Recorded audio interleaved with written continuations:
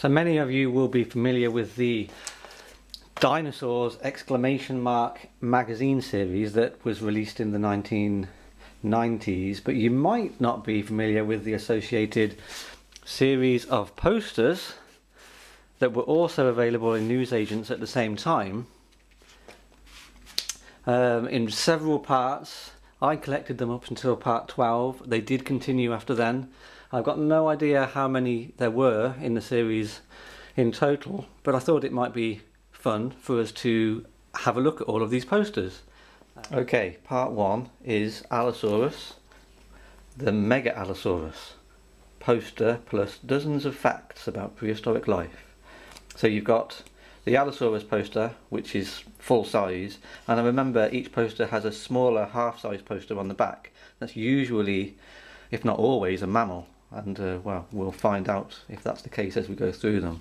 So if you open it up it's uh, at first it feels a little bit like the magazine with is it dozens of facts? It's facts anyway about the Allosaurus with some dino data here. Key facts about how to say the name and details about other animals that lived at the same time. Ornitholestes I think that's significant as we'll find out in a moment. So the um, mammal in part one is the Thylacosmilus. And if we open this up to full size, where are we? There we are, our full size poster, which is indeed the Allosaurus chasing two small theropods, which I think are the aforementioned Ornitholestes. Uh, I remember as well that the posters varied in quality. This one not so good. It's a little bit outdated even for the 90s. Um, but that gets us off to quite a good start. Here we are now with part two, which is Iguanodon. Incredible Iguanodon poster plus mammoth facts. Haha. So looks like the mammal today is a mammoth. Here, are, here are our facts, dino data, close-ups of the poster actually, which is a nice way to go about illustrating some of the information depicted therein. That is our mammoth, Mammuthus half-size poster. And if we open up the full-size poster, some pretty good artwork there. And it is the most yellow Cretaceous scene I've ever seen. But you've got Iguanodon in the middle, and one, two, three, four Deinonychus, I suppose, attacking the Iguanodon in a yellow desert. And no prehistoric scene would be complete without a volcano in the background. So yeah, that's another, another nice one. I have to apologise for the splodges in the corners. These are Blu Tack marks. I did actually use these posters Part 3 Corythosaurus. The fabulous Corythosaurus poster plus prehistoric scavengers. There are facts highlighting some of the scenes in the poster. The mammal today is an Entelodon and if we open it up full size ah we have a profile picture Oh, okay, so I'm going to have to adjust the camera for this one. Bear with me. Okay, well I forgot that some of the posters were in profile format, but that's no problem. So here we have a Corythosaurus taking its two little babies for a walk and disturbing a toothed bird in the process. This is quite a striking piece, bright colours, really quite nicely painted, and a good choice of dinosaur for part uh, 3. So, yeah, recommend. One other thing I just noticed about this poster, which is not true for the others, is at the very bottom corner you can see a signature, uh, Francis. So I don't know who Francis is, but maybe we can do a little bit of digging after the video and see if we can find out. Okay, part four is Euoplocephalus, bone-crushing Euoplocephalus poster, and a whale of a sea monster. So they're always having a bit of a play on words, a bit of fun. If we open it up we can see some of the shots, some of the information.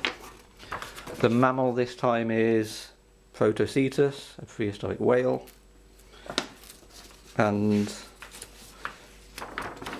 the full-size poster is it's a stunning piece of artwork really. This is I always remember as a kid this being one of my favourites. So that's the Euoplocephalus and it is banging a T-Rex on the head. Really quite good. Is there a signature? Can't see one. But that's a really evocative piece. Moving on. Part 5, Torosaurus. Torosaurus on the rampage, plus the gnawing giant. Gnawing, not boring. Um, I've been forgetting to show you what's on the back of these posters.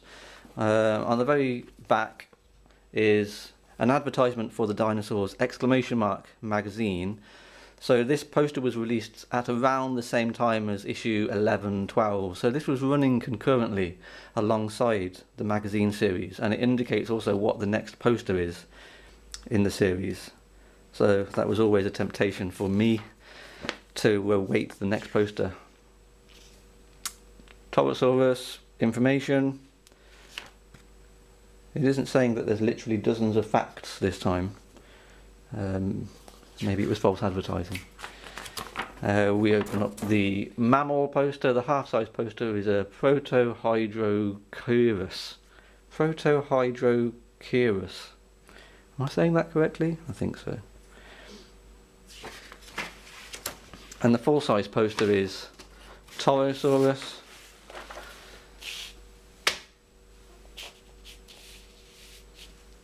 And it's really quite nice again. So a herd of Torosaurus, presumably um, two adults and a baby, being cornered by a cliff face by some sort of large tyrannosaur, which is also quite nicely painted. This one has a signature, Francis. So there's the same artist producing different. This one also has a signature Francis, so the same artist is producing several different pieces for this series, but presumably not all. While I've spoiled the surprise for part 6, that is Baryonyx, an amazing Baryonyx poster, plus the prehistoric unicorn. Um, okay. I won't put, I won't show you what's on the back of the poster. Um, we'll leave it as a surprise what the next one might be. Uh, there is our series of facts if we open up, this is a profile format for the half size mammal poster, a Elasmotherium.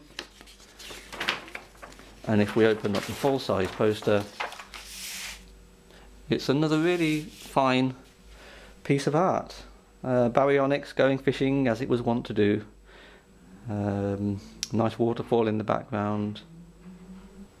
I can't make out a signature. Part 7, Mamenchisaurus. Uh, a towering Mamenchisaurus poster plus the animal that was used as a house. Here are the facts, Mamenchisaurus facts. The Glyptodon is the mammal of choice for this poster and it's another profile format poster and it's a particularly atmospheric one of a herd of Mamenchisaurus with some pretty aggressive looking purple skies in the background and some pterosaurs flying by. Really good, really nice. I remember, I remember these, this is bringing back a lot of memories from my childhood. I had my walls plastered with these posters. Well, it took us until part 8 to get there, but we are finally on our T-Rex poster, poster dedicated to the Tyrannosaurus the terror of T-Rex, plus a beast with a forked horn on its nose. Yeah, these subtitles are not as, as snappy. Uh, here are our T-Rex facts. Synthetoceras is the mammal of the day. And the full-size poster is, again, a really nice piece of artwork showing a reptilian looking very green T-Rex chasing away a few dromaeosaurs from a kill uh, while a few other dromaeosaurs have snuck in in the background. We've got more volcanoes there in the horizon, as it wouldn't be the Cretaceous period if you didn't. And, oh, another signature, West 93. So that gives us a date when this was painted, and it gives us a, a second artist. I think there might be more. So we've had Francis and West. There are probably others. But it's nice to be able to credit the appropriate people. Part 9 is the Pachycephalosaurus. Pachycephalosaurus butt out. Plus, there's a moose loose inside. okay. Um, uh, the facts. The mammal of the day. It's a Sivatherium. And the poster of the dinosaur is a couple of jousting Pachycephalosauruses, one headbutting the other off the edge of a cliff, whilst a few presumably females watch on. And in the, there's a little pterosaur flying by as well. There is there is a signature, Peter David Scott. Ah, it must be the same Scott. It's a different signature, but the Scott looks pretty sure that that Scott is the same. So Peter David Scott is the artist of this one and a few of the other ones. Very yellow scene again. I don't know what it is about the Cretaceous and yellow with this poster series. We're now in double digits. Part 10 is Compsognathus. Compsognathus, a tiny dino with a big bite, plus meet monster jaws. Compsognathus facts. Where's Monster Jaws? That's Monster Jaws. Oh, this one's... What's going on? Oh, it's in several parts. Uh, this one's been damaged. So, let's see. Monster Jaws, where are you? Must be in here.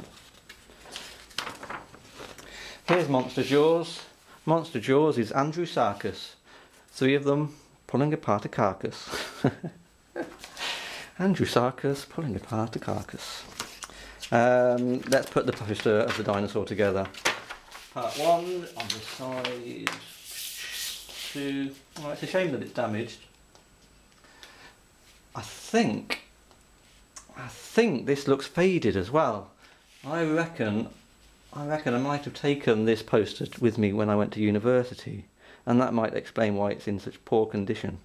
It's been put up and down, up and down from room to room.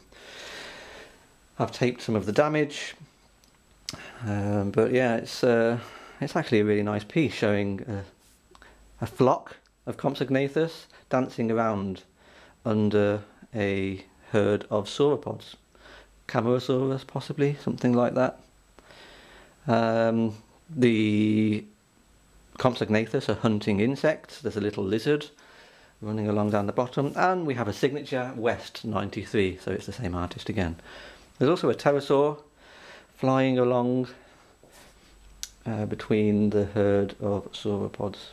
So that's a really nice scene. And again, quite nicely painted. Part 11 is Spinosaurus. The spiny solar-powered dinosaur plus a rodent with horns. Spinosaurus data. Epigaulus is the rodent with horns. They have been mammals, haven't they? Every single one. So, I don't know what child would pick the mammal over the dinosaur. Uh, certainly not me. And the poster of the Spinosaurus is I don't know, not it doesn't strike me as quite as good as the other ones. There's, there's a certain lack of realism, but it's a dynamic scene. It's yellow again, particularly noticeable and it's a Spinosaurus chasing two ornithomimids through a stream. A nice touch here is that the the part of the sail has been damaged and there's some leaves trapped between two of the neural spines. Interesting, I've never seen that depicted like that. No signature, uh, maybe the artist was embarrassed. Part 12, and this is the last part in my collection, although I know the series did continue beyond 12, is the Brachiosaurus, the gentle giant Brachiosaurus plus a super sloth with mega claws. Here are Brachiosaurus facts.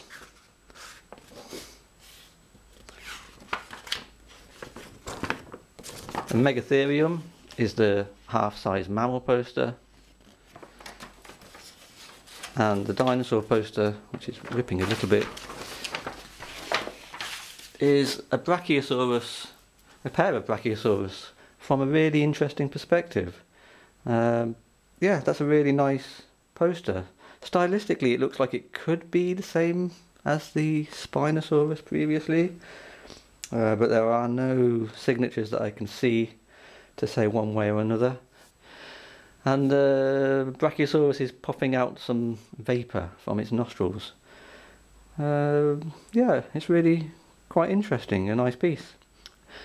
And I think, if I remember correctly, that at this point I only had a small box room and my wall space was completely covered. And so I didn't get the next poster, and I don't know how many more there would have been in the series. It's a shame because if we go to the back page of this poster, it tells us what the poster would have been, and it is a Carnotaurus, a Carnotaurus dragging away a what looks like a hadrosaur with the sun shining out from behind a cloud in the background. So yeah, it's another really quite nice piece of art and unfortunately I don't have that one to look at it properly. And I don't know how many more posters there were in the series either, but uh, if anybody who's watching has those posters or knows what those posters were, or how many were there, how many there were in the series, please do comment and let me know because I'd love to find out. So I decided to follow up on the issue of who created all of this artwork and in the fine print on the back of the magazines, on the back of the posters, it does give the picture credits for each of the dinosaurs. So to quickly summarise, um, there are five artists in total. Neil Lloyd created posters 1, 2, 4 and 6. Francis is a John Francis and he created posters 3, 5 and 7. There's an artist called Chris West who produced posters 8, 10 and 12. Pete Scott produced number 9, I think that one was signed. And finally Andy Peck and Robin Buttle produced poster 11. That was the Spinosaurus that we noticed looked a little bit different to the others. So, mystery solved.